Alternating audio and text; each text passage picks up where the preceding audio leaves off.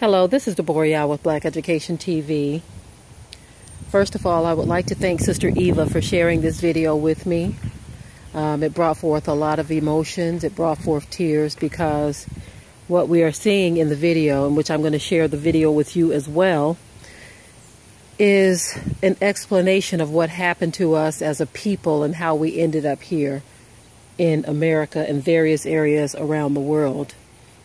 I'm so grateful that she shared this video because it share it shed some light on some things.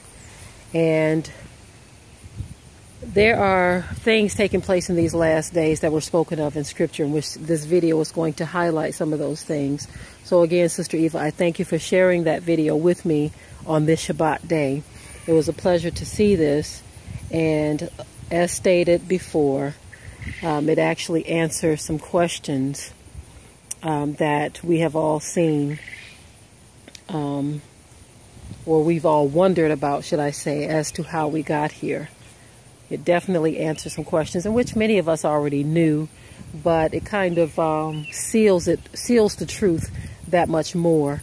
Um, seeing the explanation provided and the apology given by our people over in Ghana, Africa.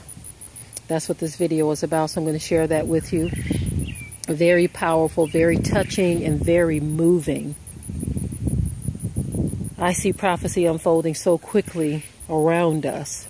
The truth is coming forth so fast. The Most High's people are waking up worldwide, Todah Yah. I thank him for giving us the Whited Out series that we started many years ago. And it is through the Whited Out series that we have been in contact with so many people. So many people have awakened to the truth through the Whited Out series, and we are grateful for that.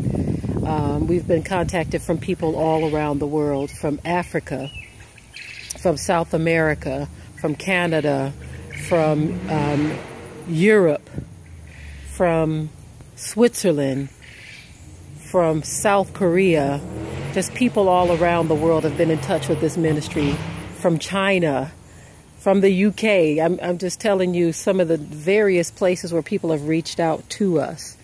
Um, we've had people from Australia. I mean, I can't even begin to name the various places of where people who have reached out to us directly. Some have even visited us um, at various events. And we thank the Most High because of the truth that is going forth like a flood, that we are seeing prophecy being fulfilled in this last day. And this video is, is a testament of that truth. We thank the Most High for that. We thank Him for that. We even had someone from Africa reach out to us some time ago and say that if we ever needed to come to Africa, that we can dwell with them in their village. And it was even an honor just to hear those words or just to receive such a message from our brothers and sisters in Africa. And trust me, it is definitely in our hearts and our minds as a family to want to do that. I mean, we would definitely do something like that if the Most High were to make a way. Um, another sister in Africa, uh, Sister Alice, um, I, I can't remember how to pronounce your last name, but um, even with you and your family reaching out to us, we had another family reach out to us. They are members of the Bamileke tribe. We are so, so grateful to the Most High. And I want to share this video with you now. And for me, it brought forth a lot of emotions. It brought forth tears. And so I can imagine for some of you, it may affect you in that way as well. But it's very powerful in the things that are being stated. And is very heartfelt indeed because that's where it touched me in my heart. So um, I'm going to go ahead and end what I'm going to say and show the video to you. And I want you all to enjoy the rest of your day and know that uh, Sister Deborah loves you and Shabbat Shalom. We are very privileged to be with you, particularly our brothers and sisters from the Caribbean. And the diaspora. And the people from all over Africa, our brothers and sisters from all over Africa. I wish at this point to particularly to apologize deeply on behalf of the chiefs and people of Gold Coast and Ghana for the atrocities, the cruelty, the inhuman treatment that were committed 400 years ago by my ancestors during the Atlantic slave trade, where over 400 years ago, millions of our brothers and sisters were captured, sold, and transported under inhumane and cruel circumstances through Elmina Castle across to the Caribbeans and to the New World. On behalf of the chiefs and people of Ghana, I do render unqualified apology deep from the bottom of our hearts. Deep from our bottom of our hearts. But one thing that I want you to be aware of, it was not without resistance. Some of our chiefs did fought and resisted.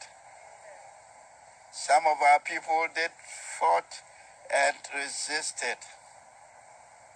But we are fighting a losing battle against a stronger army. People with guns, and we had no guns. They deceived us with liquor and all other temptations.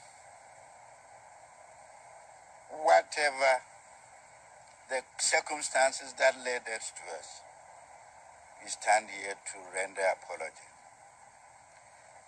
And it's my wish and prayer that this apology is accepted. Is accepted deep by our brothers and sisters from the diaspora. May the blood of Jesus assist us to overcome that evil that never again, never again should we witness this cruelty, this inhuman cruelty of man to man in this country. I thank you, and once again, on behalf of the chiefs and people of Ghana, we do render this apology.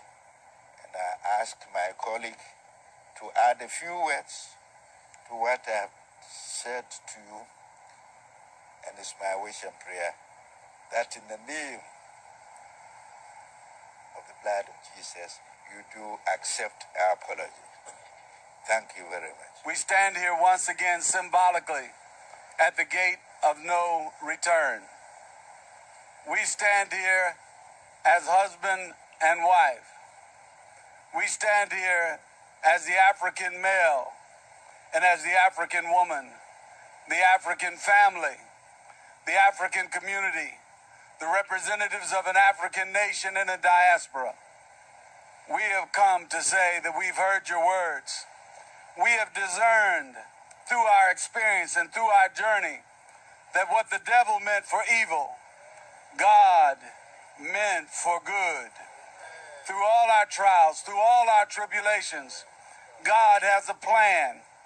That plan involves us standing together, us once again loving, us once again being brothers and sisters, us once again embracing. Put your arms around somebody and let them know and feel the love of God.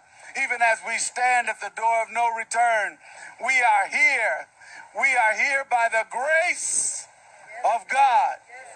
We are here by the grace of God, never to return again to the atrocities that have been experienced in this place. We accept with love, we accept with joy your apology, and we stand with you, rising together. In Jesus' name, amen. I looked out yesterday and I saw the poverty and I said, Surely, God, there must be a curse. The, the slaves would have cursed this place. And there must be a curse from just what happened here. But this is the beginning of liberty and freedom for your town and your area, for what you have done today, that what we have witnessed. Those devils are silenced today. No more. Will never happen again.